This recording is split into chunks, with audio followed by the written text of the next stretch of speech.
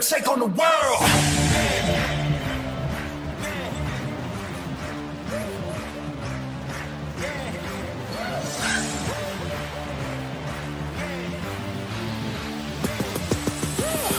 We're gonna take on the world.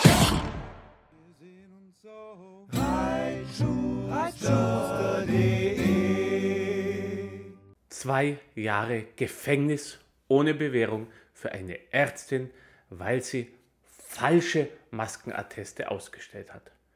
Diese Nachricht hat mich fast vom Stuhl gehauen. Es ist das erste Mal, dass ein Arzt oder eine Ärztin ins Gefängnis muss wegen dieser Maskenatteste. Und ich habe erst vor einigen Tagen darüber geschrieben, dass ein Afghane für die Vergewaltigung einer Elfjährigen, ein Kinderschänder, zu einer Bewährungsstrafe verurteilt wurde. Und ich habe auf meiner Seite gerade einen Artikel, da ist auch eine lange, ganz lange Liste von Fällen, wo Kinderschänder und Vergewaltiger zu Bewährungsstrafen verurteilt werden.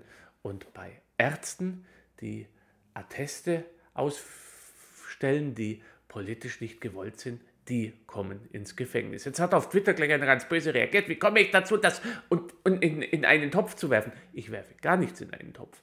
Ich finde, als Journalist muss man die Verhältnismäßigkeit des staatlichen Handelns ständig in Frage stellen, auch als normaler Bürger. Und um Verhältnismäßigkeit geht es hier, ohne das gleichzusetzen. Aber hier ist in meinen Augen die Verhältnismäßigkeit nicht mehr gewahrt.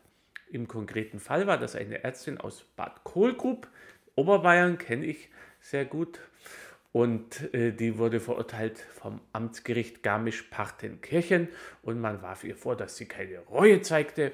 Und T-Online, dieses Regierungspropagandaorgan, die einmal einen Artikel hatten, Merkel, unser Licht in der Finsternis, die Staatsgeld auch kriegen, das, ja, wollen wir gar nicht weiter darauf eingehen, die attackieren die natürlich heftig, die wird auch mit Vornamen und abgekürzten Nachnamen genannt, was man bei Kinderschändern nicht machen würde, ja, also aber bei Ärzten kann man es und die sagt, woher sie das haben, weiß ich nicht, die Frau habe gegen Spenden für eine Anti-Corona-Gruppe, äh, habe sie diese Atteste angeboten und nach der ersten Hausdurchsuchung sei sie uneinsichtig gewesen. Was ich mich jetzt frage, ist das Gericht bei uns, sind Gerichte die besseren Ärzte, können die entscheiden, wann eine Ärztin überzeugt ist, dass jemand zum Beispiel psychisch das nicht verkraftet. Ich würde mir das nicht zumuten, dieses Urteil. Und ich würde mir nicht zumuten zu sagen, dass jemand einfach das, das,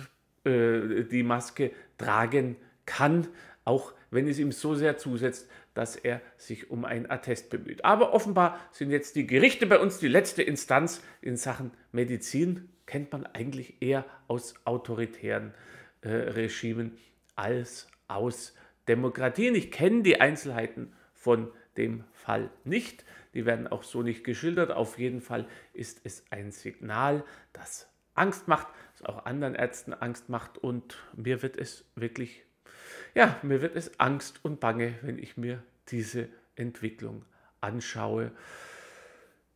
Es fehlen einem immer öfter die Worte zwei Jahre Gefängnis wegen Attesten und in anderen Fällen dann, also bei Sexualstraftätern, da hat man dann, lässt man milde Waren, vielleicht hat die Frau die falsche Herkunft, vielleicht äh, dem Vornamen nach zu urteilen, ist sie sozusagen eine Einheimische, vielleicht ist das falsch, vielleicht hat man das, ich, ich, ich weiß es nicht.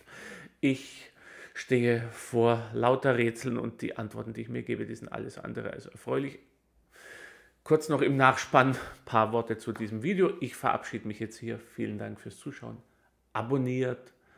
Lasst ein Like da für die Algorithmen der Lauterbach. Dieses Video ist über 150.000 Mal schon angesehen worden innerhalb von einem Tag. Ihr seid ein tolles Publikum, aber es liegt auch daran, ihr aktiv mitmacht mit Kommentaren, Algorithmen. Und vielen Dank fürs Unterstützen. Auch zeigt PayPal und äh, YouTube die gelbe Karte. Äh, es geht ja nur noch per Überweisungen, steht unten. Und ich bin gespannt, ob dieses Video auch gleich das Qualitätssiegel von YouTube bekommt. Das neue, nachdem man mir nach zwei Jahren Werbeverbot jetzt generell die Werbung erlaubt hat, dass man einfach die einzelnen Videos dann als nicht zur Werbung geeignet cancelt. Ich denke, dieses Video wird auch wieder dieses Zeichen bekommen. Und jetzt lange ich hier schon ans Kabel und das, es bin nicht ich derjenige, der wankt, sondern die Kamera hat gewankt, weil ich hier in dieser Konstruktion gegen das Kabel geschlagen habe. Warum im Nachspann?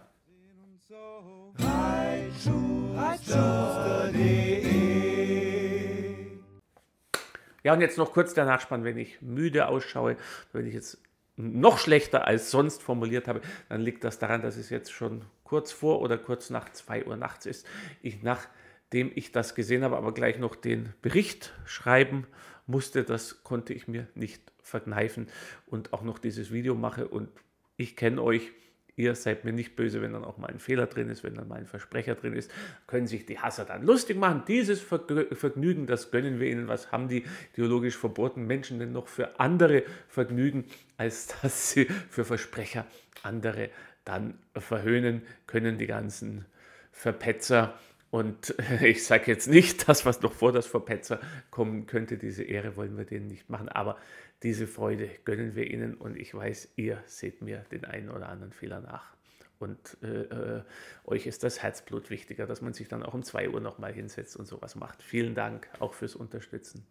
Alles Gute und ich hoffe, ich kann bald mal wieder freudigere und bessere Nachrichten verteilen. Ja, und das noch hier äh, die T-Shirts mit vielen guten Aussagen und äh, dergleichen einfach bei www.eine-frage.de noch.de ist jetzt nicht mehr so aktuell nach der Bundespressekonferenz, zu der muss ich auch noch Videos machen. Alles Gute, danke.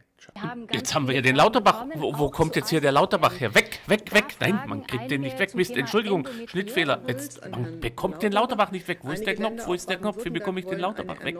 Mein Gott, Lauterbach. Äh, jetzt, jetzt ist er weg. Danke. Ich habe ja schon fast gedacht, es war ein Albtraum, weil ich so spät in der Nacht aufnehme. Aber es war ein technischer Fehler. Sorry.